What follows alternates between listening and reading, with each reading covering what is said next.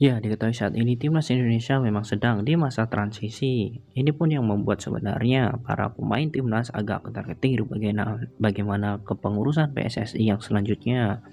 Tentu ini menjadi hal bagus jika sebenarnya PSSI dipimpin oleh orang-orang bersih. Namun kita belum mengetahui apa yang akan terjadi di tahun depan. Diketahui saat ini PSSI sedang akan melakukan konferensi dan juga konferensi luar biasa di tahun ini, tepatnya di bulan Februari nanti. Namun, lagi-lagi sepertinya ada hal yang memang tidak diinginkan oleh pecinta sepak bola Indonesia terjadi. Ya, bagaimana tidak, yakni bagaimana pengurusan pemain-pemain naturalisasi sepertinya akan tidak ditindaklanjuti. Ini pun yang diungkapkan oleh beberapa exco seperti Ahmad Riyad dan juga Haruna Sumitro yang mengatakan bahwa sebenarnya pemain-pemain keturunan ini bukanlah hal yang harus diistimewakan. Ya, kita tahu Sandy Walsh, dia bermain di Liga Antah Berantah. Kita tidak tahu bagaimana kualitasnya. Mengapa kita tidak bisa memperkembangkan pemain-pemain lokal, ucap Haruna Sumitro. Ditambah lagi dengan sosok Ahmad Riyad yang mengatakan bahwa sebenarnya pemain-pemain Indonesia juga harus bisa memiliki prestasi kuat. Tidak perlu proses, namun harus bisa menunjukkan skill. Ini menjadi tolak belakang bagi semua pecinta sepak bola yang percaya akan proses.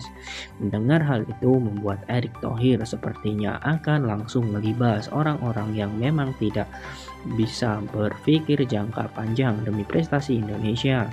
Bahkan baru-baru ini Erick Thohir juga mendukung kinerja Sintayong untuk bisa mempertahankan perkembangan permainan sepak bola Indonesia. Bahkan Erick Thohir juga akan membangun dua training ground jika dirinya berhasil menjadi ketua PSSI. Tentu Sintayong adalah pelatih yang memiliki kualitas, harus didukung dengan beberapa aspek, bukan hanya permainan serta pemain saja. Fasilitas juga harus mendukung, ucap Erick Thohir. Tentu ini menjadi hal bagus jika memang seperti itu. Namun kembali lagi, apakah orang-orang lama ini bisa dilibas habis oleh Erick Thohir? Karena sedikit tidak mengenakan jika dilihat dari beberapa statementnya. Ya, kita harus bisa waspada dan mengawal terus bagaimana kebijakan-kebijakan Erick Thohir jika menjadi ketua PSSI. Lantas bagaimana menurut kalian tentang Erick Thohir ini? Apakah Erick Thohir sangat cocok untuk menjadi ketua PSSI dan bisa menyingkirkan orang-orang lama? Silahkan kalian tulis di kolom komentar.